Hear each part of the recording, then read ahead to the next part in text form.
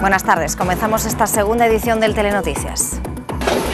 En ese nuevo Santiago Bernabéu ha estado esta mañana la atención de los aficionados madridistas, pero también en el vestuario de Zidane, Javier Callejo. Y más concretamente...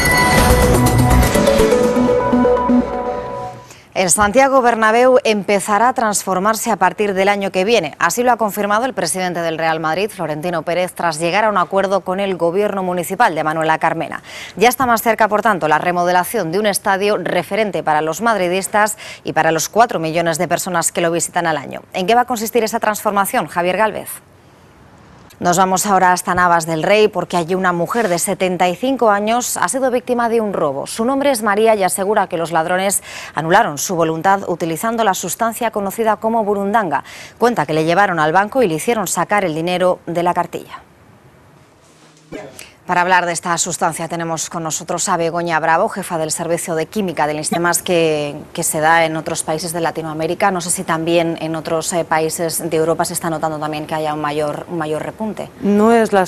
Hablamos ahora de una red que traficaba con hachís del Mediterráneo para financiar y comprar armas a los yihadistas. La Guardia Civil ha detenido a más de 100 personas desde el inicio de la operación y junto a fuerzas de seguridad italianas, francesas y griegas ha incautado 100 toneladas de esta droga y más de 11.000 armas. Y accidente laboral en Cienpozuelos. Un trabajador ha resultado herido de gravedad tras caer desde una altura de 10 metros. El hombre, de 27 Finalmente, solo dos de las cinco familias de la tragedia del Madrid Arena han recurrido la sentencia. Lo hacen contra la absolución del doctor Simón Miñals, del vigilante de seguridad Roberto Mateos y contra las indemnizaciones fijadas por el tribunal. Todos los condenados, empezando por Miguel Ángel Flores, también han recurrido este fallo. La niña de 8 años de Palma de Mallorca, agredida en su colegio por un grupo de alumnos, no quiere volver a ese centro. Y es que la familia asegura que el colegio estaba al tanto del acoso escolar que estaba sufriendo. Los agresores no han sido expulsados y hoy de nuevo al verles, numerosos padres han regresado con sus hijos a casa. Unos actos por el día de la fiesta nacional que empezarán a las 11 de la mañana con la llegada de los Reyes a la Plaza de Cánovas del Castillo. Después comenzará el desfile militar cuyo recorrido se inicia en la Plaza del Emperador Carlos V y transcurrirá por el Paseo del Prado y el Paseo de Recoletos y terminará en la Plaza de Colón. Pero atención porque los cortes de tráfico en esas calles y en las aledañas empezarán a partir de las 7 y media de la mañana y durarán hasta que acaben los actos aproximadamente sobre la una de la tarde. A esta hora ahora ya está todo preparado para ese desfile militar. Estos han sido los últimos ensayos de las tropas terrestres. El desfile militar no va a ser la única actividad de la que puedan disfrutar los madrileños en este día festivo. Mañana, con motivo de la fiesta nacional, hay otras posibilidades, desde visitas gratuitas a museos a música al aire libre.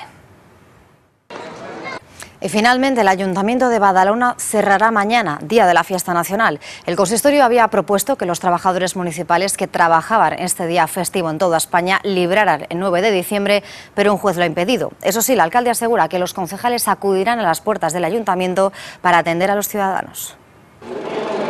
Crecen los usuarios de los autobuses y la ciudad en la que más lo hacen es Madrid. Los pasajeros de la MT suben un 17% en el mes de agosto y casi un 5% los de metro en la comunidad. Son datos del Instituto Nacional de Estadística. A nivel nacional, el número de personas que optó por viajar en de las fuerzas parlamentarias. Será el lunes y martes, el 24 y el 25 de octubre, cuando el rey abra una nueva ronda de consultas con los partidos. Por tanto, lo más probable es que el Comité Federal del PSOE se celebre ese domingo 23. En cualquier caso, si hay apoyos suficientes en esos días, a partir del 26 y siempre como tope el 31, el día en el que se disolverían las Cortes, tendría que celebrarse el debate de investidura con la primera y la segunda votación. Unas fechas que ha anunciado la propia Ana Pastor en el Congreso de los Diputados, María Antonia López.